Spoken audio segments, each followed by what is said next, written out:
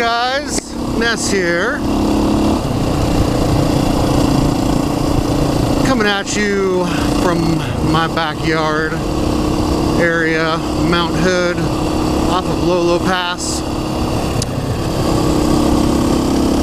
And today we are talking about that, oh, so catchy ADV.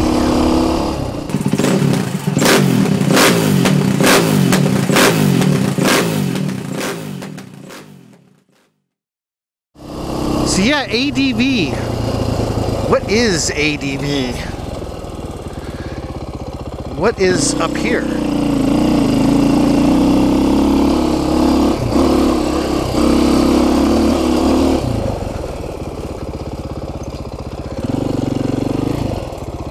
Somebody's uh, tent. I don't know if there's anybody in there. Nice little campsite. What is ADV? God, it's so catchy these days. It's all over the place. People are uh, people are tagging it to the end of their name. They're tagging, they're hashtagging it, making videos about it. Well, of course, ADV is just short for adventure. Um, but doesn't it seem as though sometimes the trail just runs out on you? These freaking, that's the one thing about these, uh,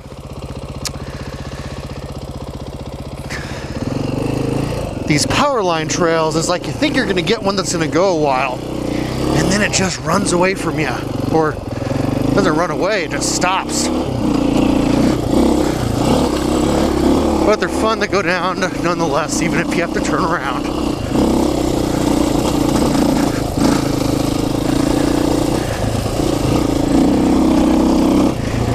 And I will be riding a little cautious today on today's little ADV ride. As I'm out here by myself and I don't have, I didn't bring the PLB. I think I just need to get my, I borrowed my dad's PLB for a while. I think I just need to break down and buy one of those spots. I just hate the subscription. So yeah, guys, what is uh, ADV? Uh, you know, everybody's got their probably their own interpretation interpretation of adventure. Uh, I kind of wanted to talk about this because it kind of is a uh, precursor into my video, my Utah video from my trip down to Utah this last uh, March. You know, adventure is defined as something, uh, an experience that is either exciting or dangerous. Um, which I can agree with that. I mean, well, it's a definition. You kind of have to agree, right? Um, but everybody can have their own interpretation and, and definition. You know, and I think there's a lot of there's a lot of people out there that might, uh, oh, not a lot of people, but uh, you know, you get some people that are true diehard. You know, uh, adventure is this, or you know, whereas most of us would accept uh, the fact that adventure is indi it's individual. It's the individual experience that you have, whether it's this could be the biggest adventure just getting on a motorcycle and going down this road uh, to one person. Yet to another person this is just like everyday life. So obviously adventure and ADV is highly subjective depending on who you are and what your previous life experience is. It's not just a hardcore adventure where everything goes wrong and you almost died and it gives you these this huge collection of bragging rights. Uh, I, I feel that adventure extends beyond that and I you know everybody should go out and seek adventure in some way shape or form. Adventure and ADV isn't just applied to motorcycles. It applies uh, to a lot of things in life.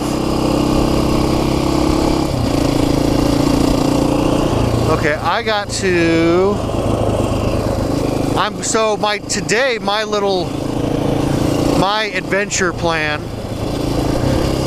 is to go find this certain spot on the mountain here with a good view of Hood. I was reading, I've been trying to get more involved in the ADV community, uh, specifically adventurerider.com.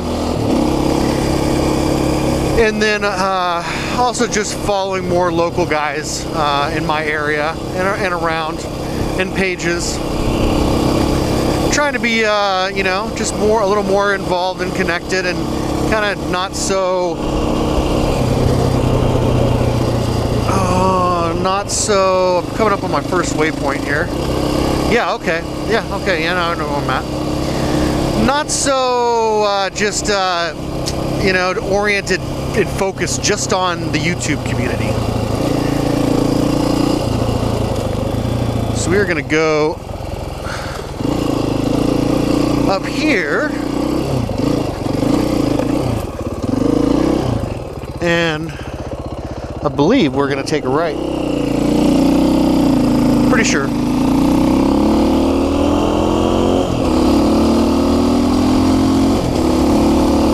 Well, I mean, left is going to spill back into that road, so that's another one of my, you know, the Captain Obvious So trying to be more involved in the community and getting on uh, ADV Rider more, kind of checking things out. And, you know, a lot of this I never really considered considered myself, you know, much of a much even hardly a dual sport guy. I'm just kind of more of a dirt bike guy. However, as time has become less and less available to get out and ride, I found that uh, riding my KTM and my dual sport is kind of the way to go. It's I don't have to load up the bike and go anywhere. I can just ride out of my garage. And I've always known I lived in a pretty damn cool place. Like Mount Hood is really kind of a beacon for me in, in my life. It's a very special, very special place.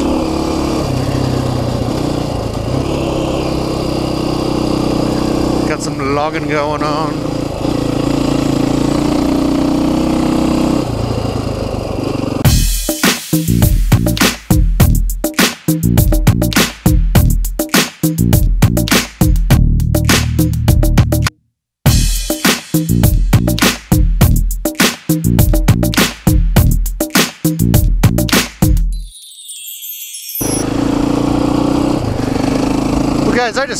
Forwarded through a bunch of pavements and to get you get you back on the gravel and start recording back on this excellent with this excellent view of Mount Hood right there. This is not the normal view that I show because I'm on the well, I'm still on the south side of the mountain, but I'm more on the uh, actually no, I'm not on the south side of the mountain at all. Usually on the south side of the mountain. Right now I'm on the uh, I guess west side of the mountain. So I'm coming from the south side, going to the west, west to northwest actually. This is kind of, yeah, northwest side. Anyways, I'm rambling again. So I started an ADV Rider account years ago. You know, and I talk about ADV being like kind of this, you know, it, it's not new, the word and the synonym or the antonym or the abbreviation it's not a synonym or an antonym. What am I even talking about?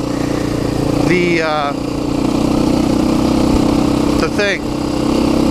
It's not new. I mean, ADV Rider's been around for a hell of a long time. I'm sorry, I don't know how long, because I'm a I'm not a very knowledgeable. I'm a noob, and I'm a noob when it comes to the to the ADV Rider and inmates. I've had an account for like four years, and only been on there a handful of times. So I'm trying to remedy that. And what I'm doing today is I'm going actually up to a spot to take some pictures that I thought was a pretty cool view on a post that I found on ADV Rider by Apple Jam. Apple Jam lives in the Hood River Parkdale area, I believe. So yeah, guys, what does ADV mean to you? Um, like I said, I think it. Uh, I think anything can be an adventure. I think the biggest thing that should make that makes an adventure is your openness, willingness to put aside fear, no, whether no matter how big nor small. Have an open mind. Go out into the wilderness. I do believe that that wilderness, nature, and, and ADV are kind of it, that's a being out in the being out in the uh, in my terms, I guess, being out in the wilderness or nature uh, is kind of a requirement for adventure. Um, now, I mean, there's other kinds of adventures I guess you can have, but I think that I think that's a that's a requirement. Yourself in a situation that you might have to figure do some problem solving to figure it out. That to me is adventure. So let me know what you guys think. What do you think? And we're gonna finish off this ride up at this viewpoint, and I'm gonna take some, uh, click some pictures, and then I'm gonna figure out how I want to go home. I don't know if I want to. I don't know if I want to go back the way I came or make a loop around the mountain. I don't know. I'm trying to keep an open mind and and just kind of let the let the adventure take me. You know what? I think that I missed something. Cuz I am way off from where I intended.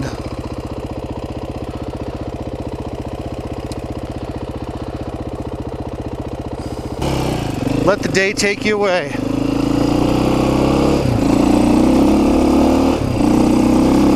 Just make sure when you go on an adventure, make sure you pack water and first aid kit and a light and some basic stuff to that if you uh, if your adventure turns into more of an adventure than you were anticipating that you're prepared for it. There's nothing nothing saying that you can't nothing saying that you can't go out and have a prepared adventure. You should have a prepared adventure. Otherwise you're going to have an idiot adventure. And then you're going to become a statistic. And here we are. Okay guys thanks for watching. Like i said go go have yourselves an adventure. No matter big, no, no matter how small. Just get out there and do something. Scare yourself a little, push yourself, challenge yourself. It's really easy to it's really easy to sit back and not do that these days. So get out there, moto, have an adventure. Go find a view like this somewhere. Okay guys, that's all I got to say. I'll leave you with that. Thanks for watching. Ness out.